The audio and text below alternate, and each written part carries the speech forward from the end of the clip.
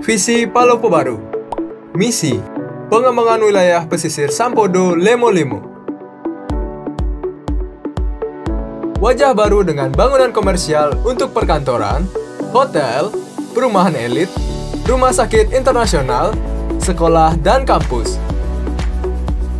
Pada wilayah Penggoli dan Libukang, diperuntukkan untuk arena bermain, wisata air, wisata Libukang dengan jembatan penghubung dari Penggoli ke Libukang.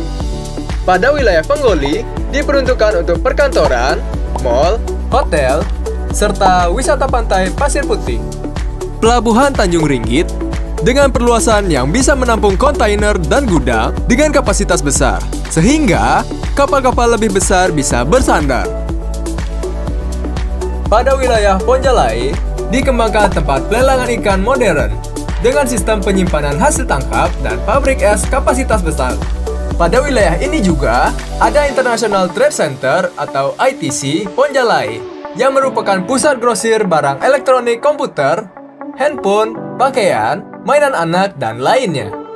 Pada wilayah Salutelue, ada Masjid Terapung sebagai ikon Palopo Baru, pusat kulineran, dan taman kota untuk wisata religi dan pinggir laut. Pada wilayah Salekoe sampai ke Sampodo diperuntukkan untuk sekolah-sekolah atau kampus, mall, perumahan elit, dan lainnya. Dari pengembangan kawasan pesisir Sampodo Lemo-Lemo ini dapat memberikan kontribusi terhadap Pertama, penyerapan tenaga kerja sekitar 5.000 sampai 6.000. Kedua, Pendapatan asli daerah sekitar 150 sampai 200 miliar rupiah per tahun.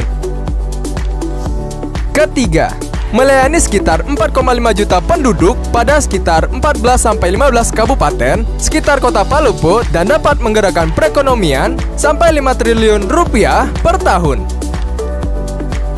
Keempat, kewajiban developer berupa kontribusi ke kas daerah sebesar 1 triliun atas nilai NJOP tanah reklamasi.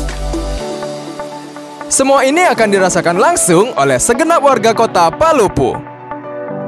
Salam Palopo Baru.